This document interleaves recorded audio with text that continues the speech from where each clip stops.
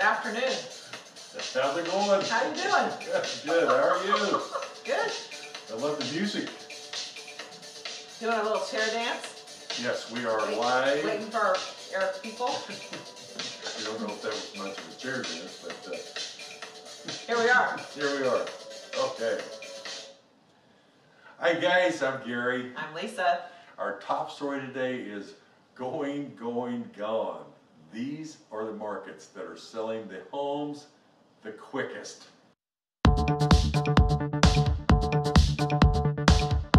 That's right. Is that right? That's right. I pulled these out today because you know the list. There's always lists, right? The top lists of lists of lists. But today's list, I found two different ones that I thought were interesting because they correlated directly on where homes are selling the fastest and where the biggest percentage of job gains are in the nation.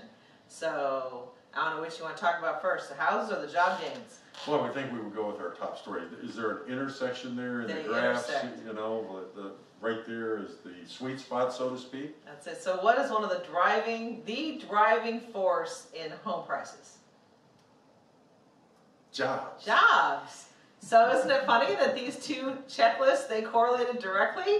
That's what I thought. So um, here we are. So our top um, list today, number one place that people are moving is Ogden, Utah, which I thought was interesting. But I've heard from a couple people lately that Utah is just crazy. I mean, it's all crazy, but that Utah is particularly cuckoo. Now, are you sure? Ogden, Utah? Ogden, Utah.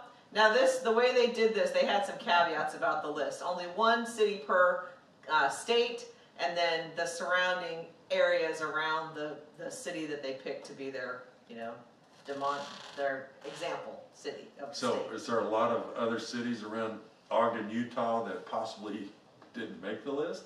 Yeah, but they're still booming. Oh, okay, so we're, we're gonna stand by Ogden. Yes, we are. Okay. just- Mostly because it directly co- correlates. It's one of my cities here on the job gains.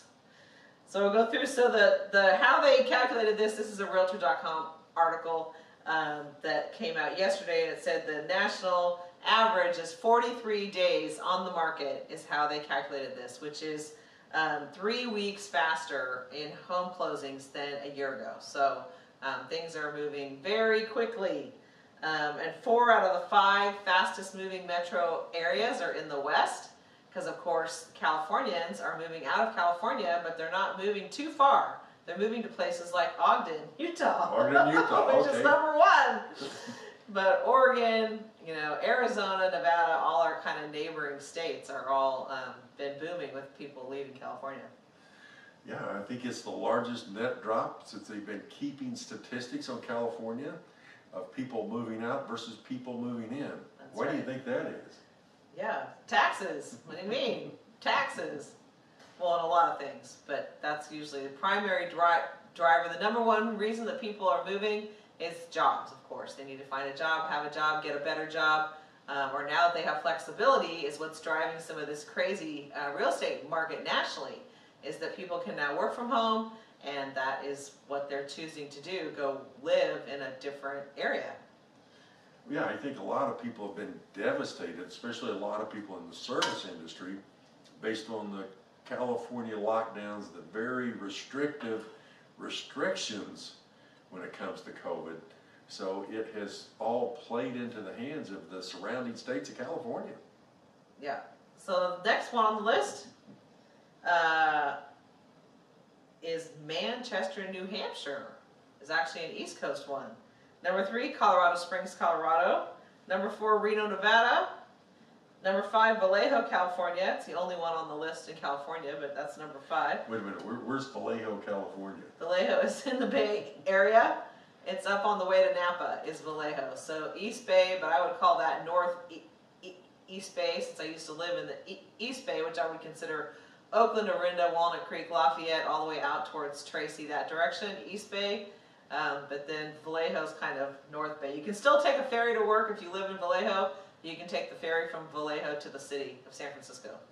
Oh, I didn't know that. I was thinking Vallejo was like Valencia, Bakersfield, Visalia, Vallejo. No, No, it's not. It's, No. okay. Wow, so they must have job growth up there. they do. Oh, and okay. they have affordable housing. The average, I didn't do all the detail here, but their housing price is under, is like five seventy-five, under six hundred thousand was the average price in Vallejo, which I thought was really low, but that's what, that's what the article said. How close to the border is Vallejo? Border of what?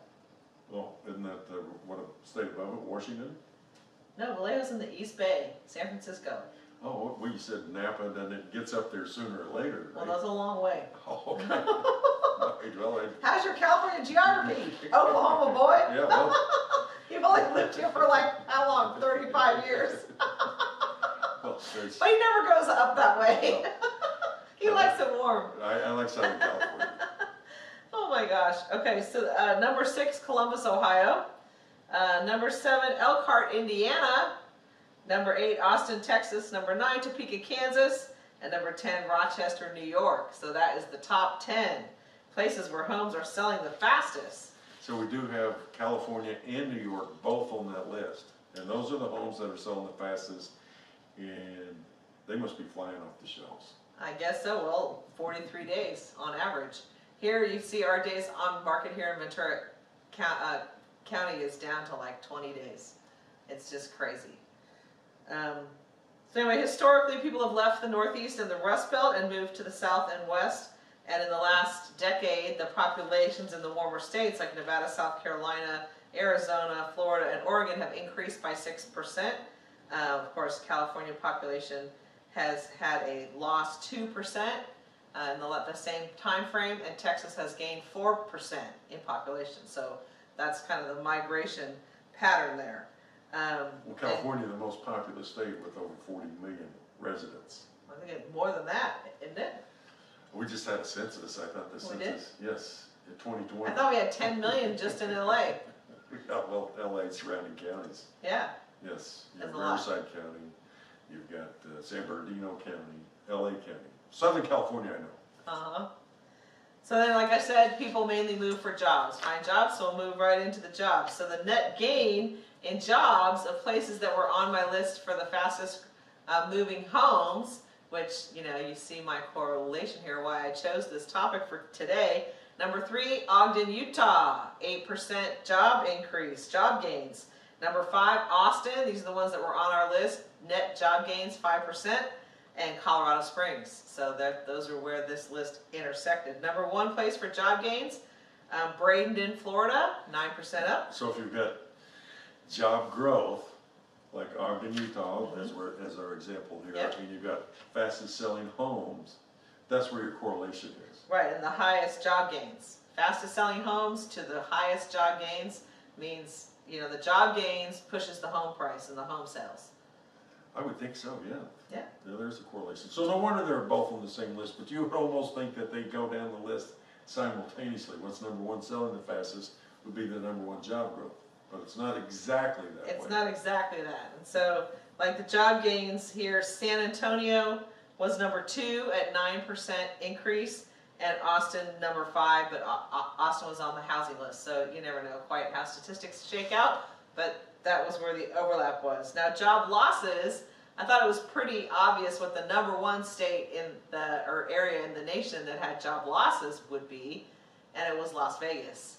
So you can tell me it's all tourism and shows and restaurants, and it's just been decimated from the last year. So job loss there, Once twelve again, percent. Yeah, once again, the service industry, Yeah, I think, has been hit harder than any other industry with the COVID.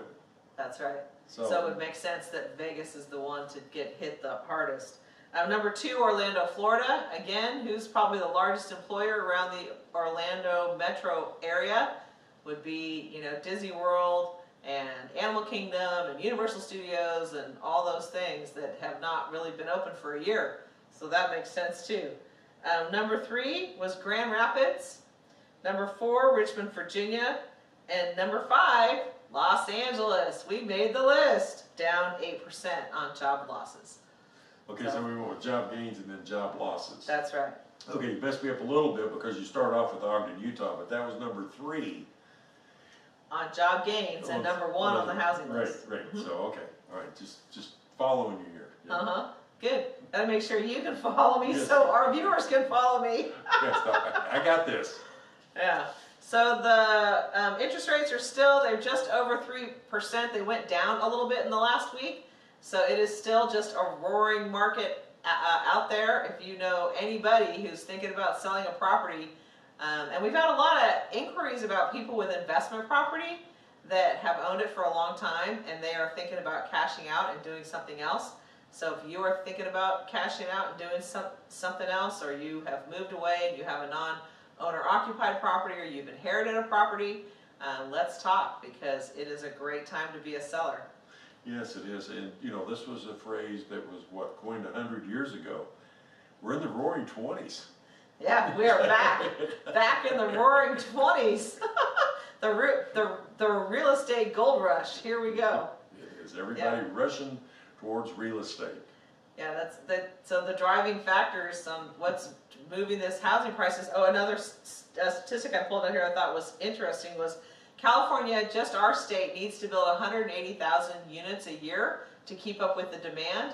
And in the last decade, they've only built about 80,000 a- a year. So that's part of the reason we have this huge price increase and deficit and a crazy market is just the number of units. Well, it sounds reasonable, but if people keep moving out, then that number's gonna go down. Well, you would think, except the demand is still there, evidently. Hey guys, thanks for watching. If you need anything about real estate at all, we've got the answers. GaryandLisa.com. Your real estate edge. That's a